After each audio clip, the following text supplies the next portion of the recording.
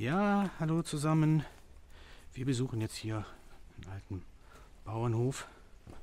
Ah, Hier sieht man die Scheune. Ah, Sie ist schon recht ja, runtergekommen. Ja, schaut mal hier. Da haben wir eine Toilette. Das sieht auch klasse aus, ne?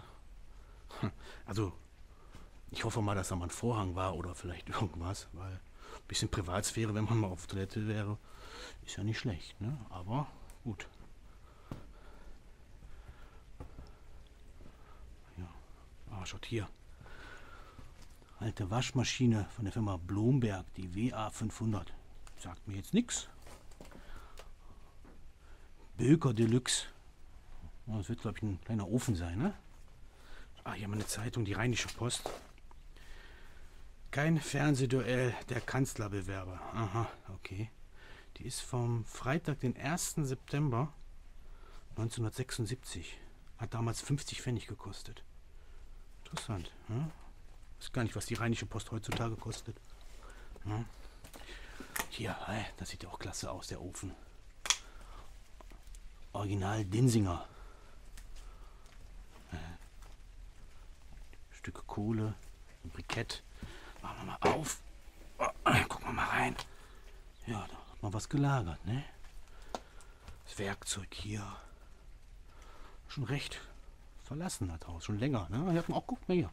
Hier hat man Kohle, also die Briketts gesammelt, gelagert. Auch hier. Ne? Alter Mülleimer. Sieht aber auch klasse aus. Die Schuhe hier. Also, wenn man so schaut, sieht schon recht liebevoll eingerichtet aus, ne? Wenn man so in der Scheune schon so Sachen aufstellt.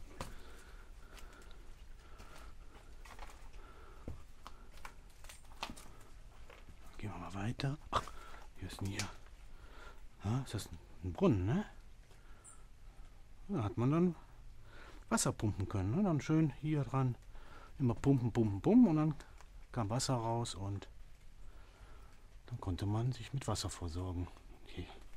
Eine Sense hängt ja noch, ne? Oh, Sensenblatt ist schon recht rostig. Gehen wir mal weiter. Was haben wir hier? Okay, ja, das ist, das ist ja die Heizquelle von dem Gebäude. Ja, ein Ofen, ein Kamin. Hier hat man dann ja geheizt und damit das ganze Gebäude wohl geheizt. Ja, weil ich glaube nicht, dass man hier irgendwo eine Heizungsanlage hat. Aber so ging das früher. Und wenn ich mir so anschaue, wie groß es ist, vielleicht hat man hier sogar auch ja, geräuchert. Dass man hier eine kleine Räucherkammer hatte. Ne, und dass man dann diesen Ofen dann auch zum Räuchern benutzt hat. Ja, gehen wir erstmal hier lang. Oh, ja, ah, sieht auch klasse aus. Der Schrank. Ja. Weizenkleie. Ravioli. Ja, die Dose ist schon fast durch. Die ist unten schon weggerostet. Patex Kompakt. Ach, hier. Ja, da hat sich eine Maus wohl ein kleines Nachtlager aufgebaut. Hier unten gucken wir mal da eben rein. Ja, auch eine ganze Menge an Dingen, die man dann in den Schranken, in Schränken dann verpackt hat, wo man ja immer mal was braucht. Ein Kühlschrank von der Firma Bauknecht. Ja, auch hier die Kaffeemaschine. Und sich mal Kaffee kochen. Hä? Wo findet man denn noch so Regale? Die sehen auch klasse aus. Also die ja, Küche dann hier, ne? Befinden wir uns hier in der Küche. Klein, aber fein. Ja, da sieht man schon eingemachtes. Ist oftmals die ältere Generation. Oh, wenn man jetzt hier, ne, genau, wenn man jetzt hier reinschaut, sieht man da eine ganze Menge an Konserven. Ist aus Einmachgläsern. Man hat dann, wenn man was hatte, hat man das dann eingelegt für schlechtere Zeiten. Irgendwelche Früchte, irgendwelche Beeren. Schwer zu definieren, was das ist. Ich sehe da jetzt ein paar Bohnen, Gurken. Ne? Schaut mal da vorne. Paar Gurken. Hier sind Bohnen, dort sind Erbsen. Hier irgendwelche, ja, Kirschen. Auch hier wieder Bohnen. Also eine ganze Menge, ne? Also wenn man dann in der Not war oder man konnte nicht einkaufen, hatte vielleicht kein Geld, hat man sich dann hier aus der ja, Vorratskammer dann bedienen können. Die Töpfe, die sehen auch gut aus, die sehen auch schön aus, wie sie dort aufgestellt sind. Hoppala. Ja. Gucken wir mal hier. alte Schuhe da. Fantastisch. Penatencreme. Hier ist eine Bildzeitung. AIDS-Gerücht. Pfeiffers größte Gemeinheit gegenüber Engholm. Von wann ist die? Vom Freitag, den 23. Oktober 1987. Ja, hat damals auch 50 Pfennig gekostet.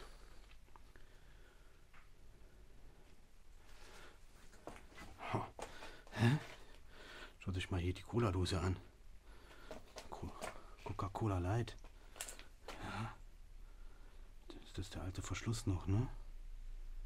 Herrlich. Apfelsaft.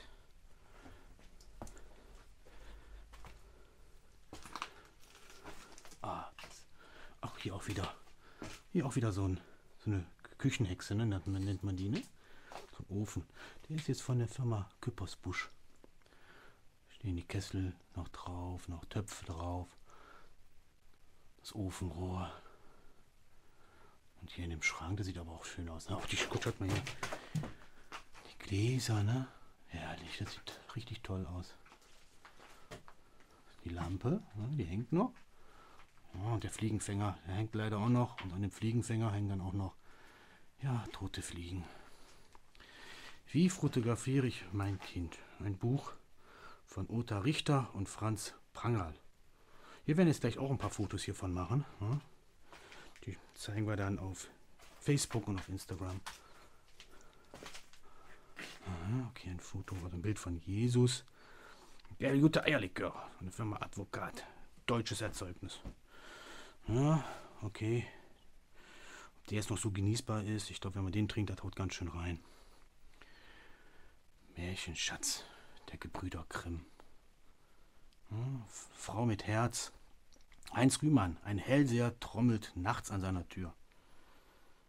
Königin Silvia, die Operation war, war über, völlig überflüssig. Mhm, okay. Welche Operation war es? Ich weiß es nicht. Aber auch die Tapete, ne? schaut mal. Ich hoffe, man kann es noch erkennen. Ja, mit kleinen Blättchen. Sieht gut aus.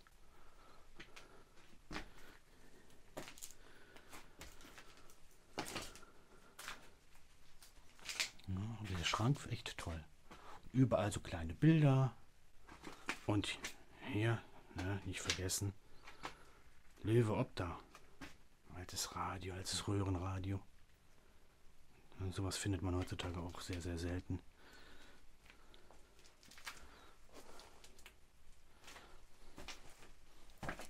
Kleiner Wandschrank mit eine ganze Menge Zeitschriften. Hinten sehe ich die Tina. Ja. Einer Mark 20 hat das gekostet. Datum kann ich jetzt von hier nicht erkennen. Und da hinten ist eine Uhr. Ich sehe da, was sehe ich da? Ein Pikolöchen, ne?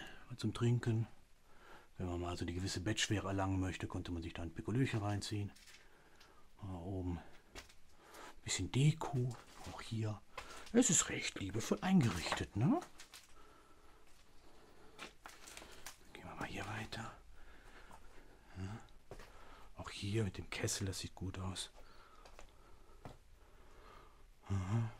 Von Einkauf aktuell von 2010, okay. Brand, Markenzwieback, den gibt es ja heute auch noch. Kaffeemühle, konnte man sich die Bohnen mahlen. Und machen wir hier die Tür ein bisschen zur Seite. Das sieht doch auch klasse aus.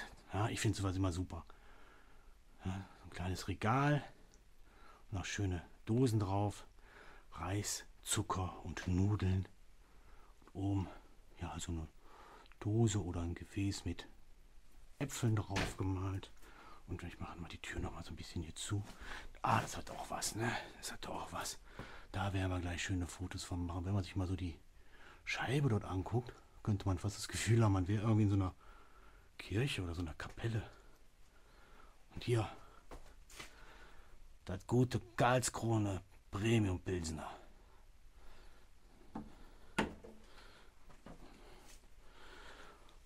Auch hier wieder eine ganze Menge Dinge, die man dann gelagert hat. Kim, gibt es diese Zigarettenmarke überhaupt noch? Wenn, wenn ihr es wisst, schreibt es mal in die Kommentare. Ich weiß es jetzt nicht. Schauen wir mal hier. Aha. Garderobe, da hängen noch Mäntel. Und wenn man so schaut, sieht man jetzt gerade hier nur Damenmäntel. Kann vielleicht sein, dass zum Schluss hier eine Frau gelebt hat. Ja? Und auch hier die Tür, wenn man sich die Tür anschaut, sieht herrlich aus. Dann machen wir gleich ein paar schöne Fotos. Hier ist der Eingang, der Haupteingang. Ne, der ist gut, der ist verschlossen, kein Problem. Alles gut. Und hier 93, von 1993, 97. Gut, wenn man so mal schaut, man hat immer wieder diese Blätter dann davor gepinnt. Wenn man da unten wahrscheinlich weiter nachschaut, würde man einige Jahre zurückschauen können. Auch hier. Ah, das sieht auch fantastisch aus. Das Licht ein bisschen höher drehen. Ja, ein Bild. Ich vermute mal, dass das die, das Paar war, was hier, das Ehepaar, was hier gelebt hat. Ja, sieht aus wie ein Hochzeitsfoto, weil die Dame dort Blumenstrauß in der Hand hat. Die sind sehr schick gekleidet aus. Und hinten eine Tasse mit Mamas Liebling. Das ist doch schön. Das ist doch schön. Ja, Haribo, Colorado. Hier der Schrank. Auch wieder, wenn ich das jetzt so überblicke, zunächst alles Damenkleider, Damenmäntel und der Hut, auch typisch ein Damenhut. Da vorne ein Kreuz an der Wand, ein Zeichenblock. Guck mal, was in der Kiste drin ist. Ja, da hat man die Winterwäsche vielleicht reingetan und dann hat man das verstaut und wenn dann der Winter wieder kam, dann hat man die Sachen rausgeholt, dann kam die Sommerwäsche da rein. Und jetzt schauen wir mal, ob uns jemand eine Zeichnung da gelassen hat, ob jemand was gezeichnet hat. Da schauen wir jetzt mal. Ja, ne?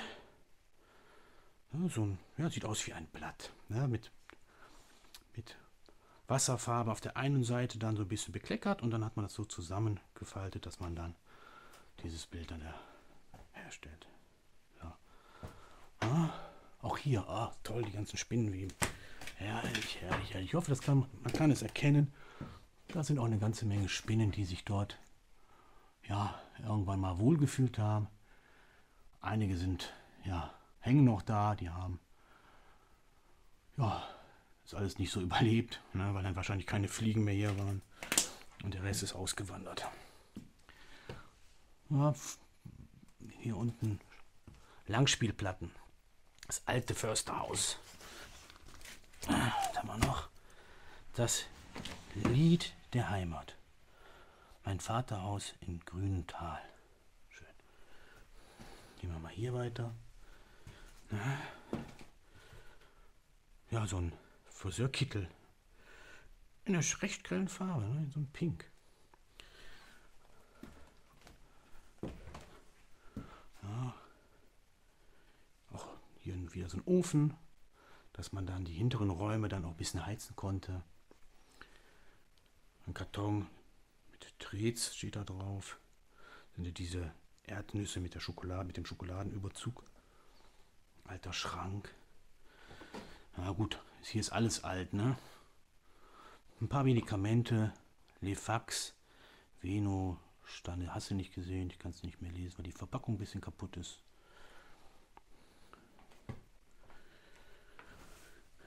Hier, das sieht aber auch gut aus mit diesen, ja, wo man dann Mehl und Zucker rein machen konnte. Dann, ja, ach, ja, ganzen Spinnenwehen, das sieht auch gut aus. Ne, da ist nichts mehr drin. Da. Schauen wir hier auch noch mal rein. Aber auch hier, seht, auch doch da oben ist ein kleiner Teller drin.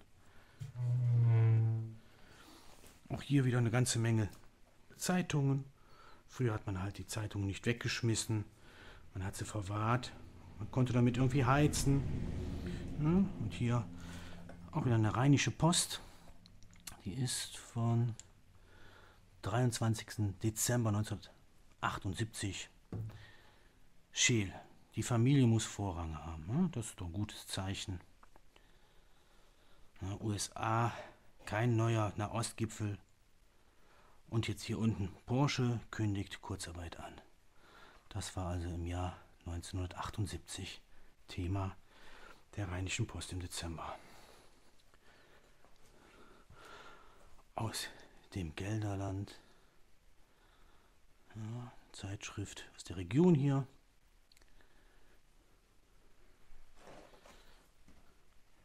Ja, ein Sack mit Weißkalkhydrat. Keine Ahnung, wofür Weißkalkhydrat notwendig ist, aber ne, wer es weiß.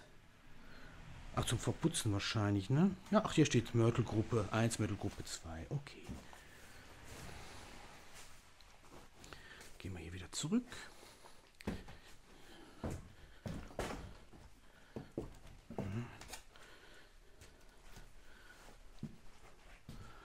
Jetzt gleich mal hier die Treppe hoch. Und auch hier die alten Mäntel wieder und herrlich mit der Tür. Ich mache die nochmal von der anderen Seite. Ich muss die nochmal schnell an. beim Ganzen so. Ja. Auch fantastisch. Das sieht euch klasse aus. Wie, eigentlich wie in einer Kirche oder Kapelle. Ja. Dann gehen wir mal weiter.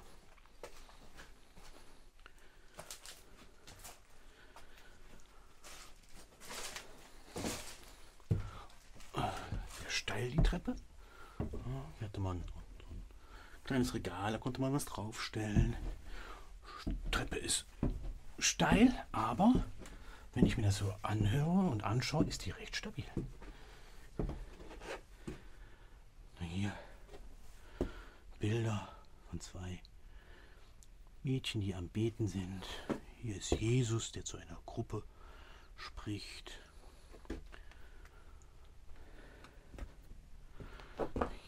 Ja, genau, hier ist die Scheune, die wir uns eben angeschaut haben, weil wir mal reingekommen sind.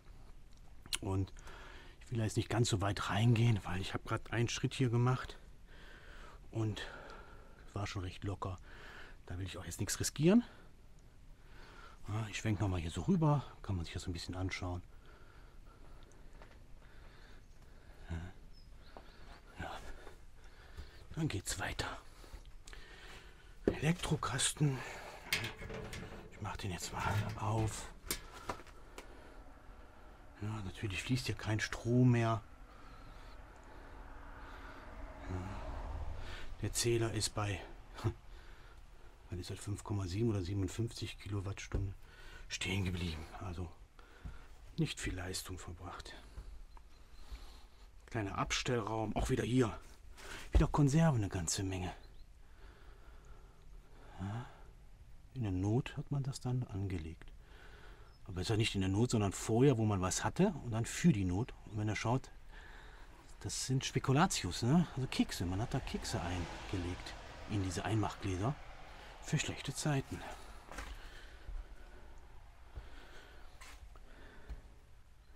Amtliches Fernsprechbuch 75, 76. Von 72, 73. Hier sind noch weitere hier ist noch eins von 74 und 75. Also schon recht lang her, ne? Kleines Räumchen. Vielleicht auch so ein Abstellraum. Dass man es damals dafür benutzt hat. Dass man so Sachen gelagert hat hier. Kartons, wie ihr seht, sind da noch ein paar Kartons liegen noch herum. was ist das denn? So kleine Sägen, ne? So Laubsägen sind das. Ne? Interessant. Auch wenn er so schaut, die Schalter alles noch alte Schalter und eine Menge Spinnenweben. Gehen wir mal hier. Uiuiui. Hier ist die ganze Decke hier voll Spinnenweben. Ich hoffe, man kann das jetzt mit dieser Beleuchtung der Kamera sehen. Ich schwenke jetzt mal und wenn ich jetzt mal hier so reinrieche, hier riecht es so ein bisschen aus. Also riecht so ein bisschen nach, als ob hier jemand ja, hm, ein Geschäft verrichtet hat. Es riecht zumindest irgendwie danach. Auch da hinten, ja, eine ganze Menge Nudeln eingelegt, also in diesen Boxen drin. Töpfe, ein Schrank, ne, versperrt Spinnenweben, versperrt den Zugang. Ne. Auch hier eine ganze Menge Spinnenweben. Das zeigt, dass hier auch schon eine ganze Zeit nicht mehr viel los war, dass die Bewohner, die hier die mal gelebt haben, diesen Ort irgendwann mal verlassen haben. Wir hatten ja da eben, gab was war das von 2000, von 2010, glaube ich, war das, ne? aber ja, ich, ich meine eher, dass es was mit der Tür zu tun hat. Wir hatten ja an der Tür, hatten wir ja da ähm, die Zahlen gehabt und also ich vermute mal, dass die, ähm, dass das so ungefähr in dem Jahr hinhauen kann. 97. Ja. Weil wäre hier vorne noch ein bisschen was gewesen, dann wären, ja, ich würde mal sagen, an dem obersten Papier noch Löcher drin, um die anderen, die da drüber kommen, zu festzumachen. Aber man sieht es nicht. Ja, ist schon eine lange Zeit her. Ja, hier gehen wir nochmal hier rein. Ja, hier sind wieder ja, die ganzen Eimachgläser, ne? Ja, ja. Sieht, wenn man sich das anschaut, ganz ehrlich, das sieht noch frisch aus. Ja, Gut, das jetzt nicht so, aber wenn man sich jetzt die Bohnen anschaut, oder was haben wir da? Erdbeeren, ne? Oder sowas, ne? Aber wenn man sich jetzt die Bohnen, die sehen schon recht gut aus, ne? Ja. Wahnsinn, ne? Ja, interessant, ne? Was dann doch noch hier so alles liegt und steht. Gehen wir nochmal. Jetzt gehen wir wieder Richtung Ausgang. Ein schmuckes kleines Häuschen. Hm. Sind eine Stiefel. Hier die, eine schöne Couch.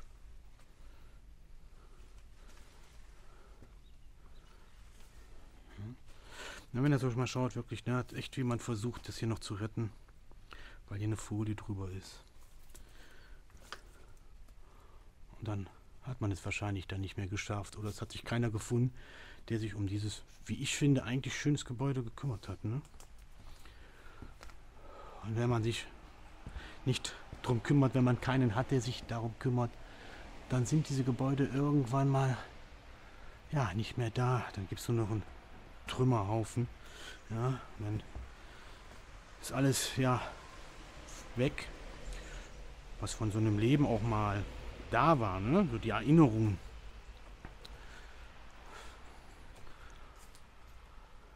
Ja, hier, da seht ihr, wovon ich spreche. Wenn ich mir hier so rein filme, da ist natürlich alles runter. Da ist das Dach eingestürzt. Auch hier ist nicht mehr viel zu sehen. Ja, da hinten, das sieht doch gut aus. So ein altes Holzfass. Ja. Ist also nicht mehr viel da. Ja, und dann würde ich sagen, was war's dann? Wir bedanken uns fürs Zuschauen. Wir, wie schon eben gesagt habe, wir machen jetzt noch ein paar Fotos. Die laden wir dann bei Facebook und bei Instagram hoch. Und wer Interesse hat, kann sich die gerne mal anschauen. Ja, wir würden uns auch über ein Abo freuen, wenn ihr mal ein Abo dalassen könnt. Ein Daumen nach oben natürlich wäre super. Kommentare, wenn ihr irgendwie einen Kommentar habt, gerne schreiben. Ja.